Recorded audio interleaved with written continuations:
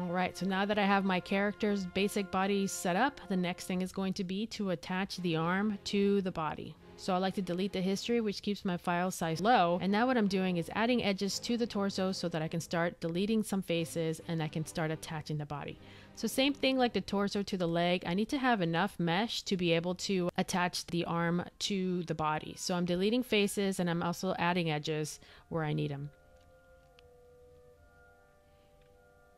All right, so now that I'm going to the side view, I'm gonna make sure that my arm is aligned to the body and I'm gonna start shaping the shoulder hole. Now I have to apologize, something went wrong with my um, my capture, so you'll see that you can't see my mouse anymore. So I don't know what happened, it didn't capture it. Uh, I'm sure it's some sort of attribute that I somehow turned off and uh, I have to figure out what happened. So, but hopefully you, but you can still see where the direction of the vertices are going and everything. So hopefully that will give you enough information to be able to uh, to get the idea. So my apologies. Hopefully that doesn't you know disturb you too much. But sorry about that. I don't know what happened. All right. So now that I've kind of shaped the whole of the shoulder, I'm adding a couple of edges so I can start shaping uh, a little bit more of the arm, and then I'm going to start attaching the shoulder. So I'm extruding the geometry that I need, and I'm going to start shaping it.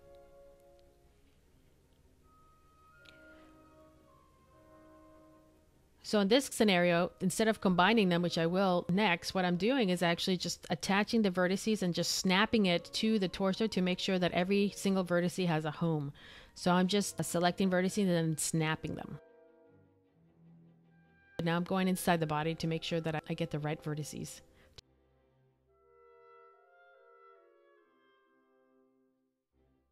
And now I'm moving the arm around and kind of shaping it a little bit more to make sure that there's enough enough room for the body. All right, so it looks like I have enough vertices to connect. So now I'm going to select both the bot, the torso and the arm. I'm going to combine them. And then I'm going to grab a chunk of vertices and then I'm going to merge. So it's two ways that you guys can actually merge things together.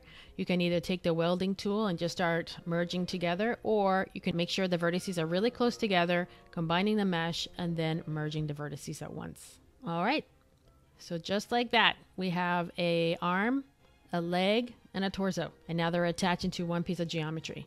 The next part is just uh, basically making sure that the body and everything is aligned. You want to make sure that you have a nice grid flow when it comes to your mesh. If you have more of a nice grid to your character, then it's going to deform properly.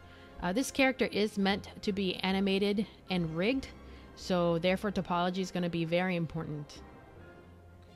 So now what I'm doing is just moving things around a little bit more carefully to make sure that everything's set up so that I can start extruding and, and making sure that geometry is correct and placed well. I also want to make sure that my grid flow and my geometry is following the reference picture. You can see that needs a little bit of work. And you can also tell that I'm scaling uniformly, but never selecting that center edge because I want to keep that at the center. I don't want to mess around with it. Another thing that you're going to try to do is make it look like it's not a cylinder attached to a torso. What you're seeing is just kind of going through and making sure that all the edges and everything kind of it has a nice smooth grid flow. If you guys ever need to know what type of topology your character should have, there's a lot of reference out there as to what type of topology your character should have when it comes to the arms, how they attach, and everything. So the key is to try to get the shoulders to actually smoothly go through to the body and uh, and it goes into a nice smooth way a lot of the times you want to try to make it look like it's you've got shoulder blades and the spine and your body you know just kind of follow the, the, the anatomy of the human body.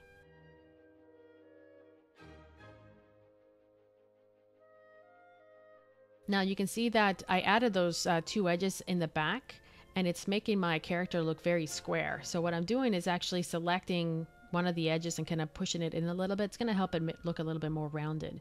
I can always use this extra mesh to just kind of round out my character a little bit more and define her a little bit more. I can always use the mesh. I can either remove it or I can work with it. So same thing with the front. Um, I'm going to actually try to make her a little bit more rounded. She is kind of more tuned. So I definitely want to make sure that she's rounded. So I'm just kind of pushing them in a little bit, pushing them out.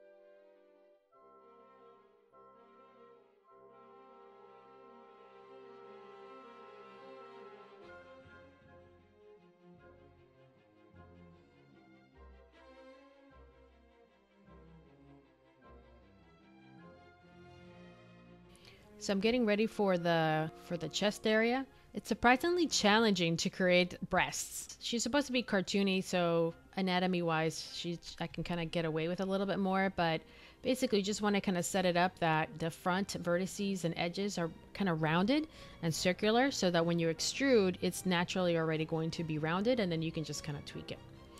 But again, I'm just kind of going through and just kind of checking out to make sure that everything's looking well. And once I have, I don't want to add anything extra until everything is good to go. So is the back okay? Is the front looking good? Are the arms looking good? If everything's ready to go, then yes, I can go ahead and start grabbing some edges or some faces and extruding. So very similar to anatomy and other objects, you're just going to extrude and then you're going to start shaping.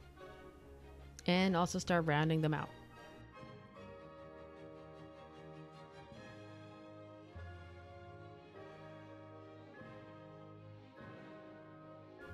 So I'm probably gonna gonna go ahead and add some music so that uh, you know since I don't have much to say, you can just kind of watch and see what's going on. But uh, I'm gonna put a little bit of music in the background and uh, just gonna uh, kind of enjoy the show.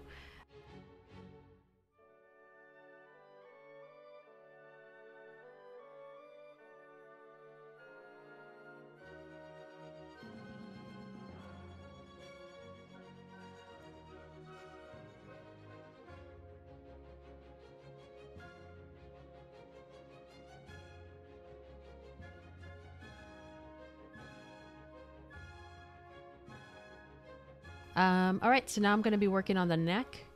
I'm going to go ahead and start uh, aligning the neck to the mesh. I extruded and I'm bringing it in.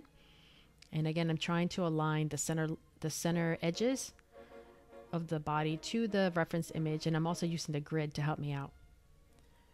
And don't forget, anytime you do that, you always want to look to the both the front view and the side view to get uh, an idea. And the perspective view is going to help to make sure that everything's looking good.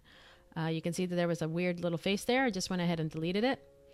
And I'm just kind of taking a look to make sure everything's shaping okay and areas where I can use what I can do to improve. All right, so there is the body being formed. It's got uh, some nice edge flow and uh, there's a couple of things that just need to be tweaked a little bit more, but uh, you can see that I'm going to start rounding things out. Again, there's nothing really square about the human body. There's really no sharp edges except for maybe teeth and nails.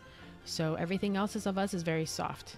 Especially for this character. If you're trying to design like an evil character, then maybe you do have a lot more sharp edges. But in this character, she's supposed to be kind of cute and soft and gentle. So in that case, we're going to go ahead and design her that way as well. So now I've created the neck. Sure everything looks good. And now it's going to be the feet. She looks a little strange without feet. So usually with feet, what I do is grab the uh, bottom edge and then start extruding. She has some really modern shoes right now, so that's going to be interesting to work with. All right, so I'm extruding and expanding, and again, I'm looking at the side view first. Then if I want to, I can go ahead and look at the front view as well, so I can work both both angles at the same time. So I went all the way to the bottom because and to create the heel because when I'm going to grab the the toes, I'm going to actually grab the front faces and then start extruding from there. If you know anything about animation, the foot bends, so make sure that you give her enough geometry to be able to bend without breaking.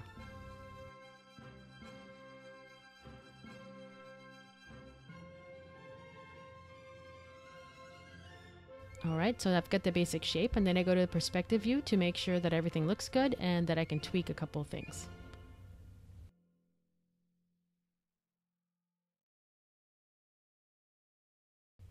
So I'm adding um, an extra edge loop to make sure that uh, there's enough geometry and also so the character's foot doesn't collapse when you soften it or smooth it. You can see there's a giant hole at the bottom so I'm going to go ahead and in this case I fill the hole and now I'm going to create edges to start cutting it into quads. You're going to try to avoid tris and you're going to try to avoid n-gons. So no triangles. If you are going to have triangles, make sure you uh, you hide them and nothing over five edges. The problem with five edges is that Maya has a tendency not to know what to do with them or with triangles, and therefore it tries to calculate them and it gets a little confused. So it's actually mostly about rendering. When Maya renders, it actually takes look at the quad and then divides it into half and then it tessellates. If you have a triangle, it's going to try to divide it in half and it doesn't know how because it's a triangle. Or if it's an n-gon, which is five edges or, or more, it doesn't know what to do. All right, so now I'm duplicating it to the other side. I'm going to go ahead and do an instance. I am scaling it to the negative one so I can see how it looks like uh, if it was mirrored. An instance means that whatever I do to the right side, the left side is going to be affected. So I'm working on the chest area to make sure that it actually looks okay. And you can also see that there's some holes, so I'm going to go ahead and start fixing the holes as well. So instead of scaling it, make sure you just move them because again, the other piece doesn't really exist. It's just kind of like a ghost of it. All right, she's coming along. I think that's a lot of information. We actually did a lot today. We uh, created the torso, the arm, we attached them, we fixed it, we created the feet, and now we're going to be working on the hand next. I'm going to show you a little trick that I used to create the hand. I think that's good for now. So hopefully that was helpful, and uh, remember to keep practicing, it, make beautiful characters. I truly appreciate everything that you guys do and your support, and I will see you next time.